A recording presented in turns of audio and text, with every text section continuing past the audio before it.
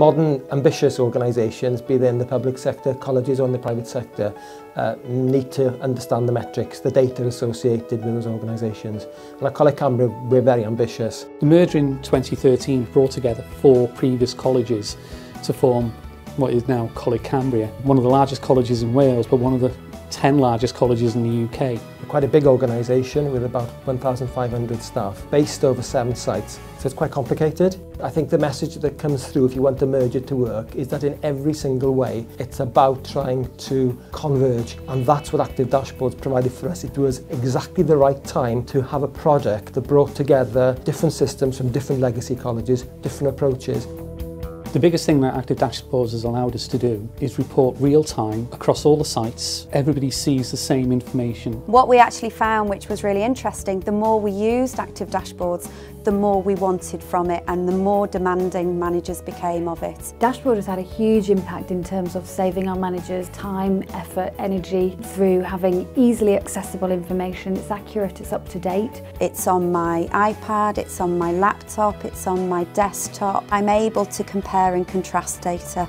and cut the data in a way that I need to to bring about quality improvement. We can then use that data to inform our workforce planning, both day to day in terms of operational decision making, but also at a very strategic level in terms of planning the year ahead, the next three years and how we invest.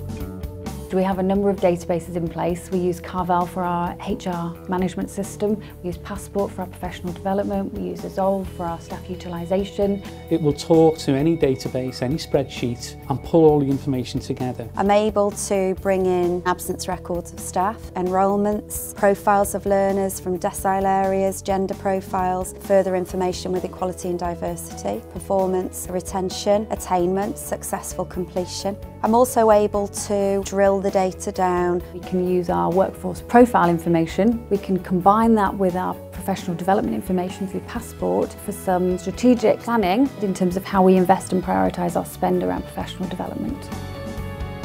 Like the rest of the public sector in the UK, we've had to face big reductions in funding over the past few years, and there are more to come, I'm sure, unfortunately. To respond to that, manage through that time, but also keep our learner performance at the top level, you really need to get hold of your data very quickly. Be prepared to understand and cope with real-time changes. Active Dashboards has been an important part of making that work for us. Looking at your performance isn't just about looking once a year at it and then reporting to your governing body. It's a 24-7 operation. question. The, the biggest was its income generator is obviously student numbers. The journey from initial indication from a learner all the way to enrolment is monitored through the active dashboard.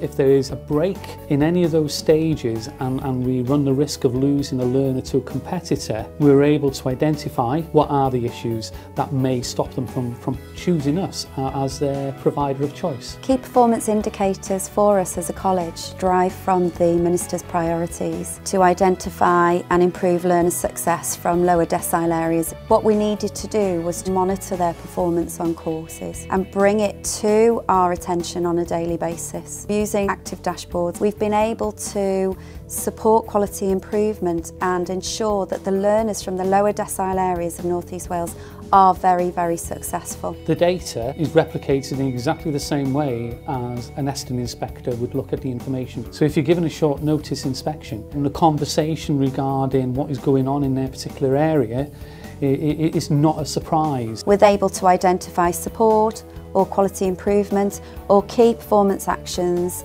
straight away and we're able to have meaningful conversations about those. A really good example where we've been able to use the data from Active Dashboard to make some immediate changes to the way we work is around sickness absence. So my team are working really closely with managers across the college to look at their data so we can then put in support for the manager, the staff and we're already seeing those reductions happening. The active dashboards have been really supportive in improving standards in our hair and beauty curriculum area. We've been able to really hone in on learner numbers, enrolments, current performance and also successful completion.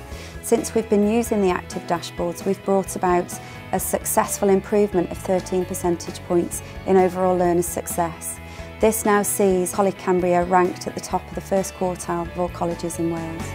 When merger took place, there was expectations where that was two merged institutions, grade one, might be a dip in, in performance in the first few years. With the introduction of the active dashboards, we are looking at a 6% success rate increase.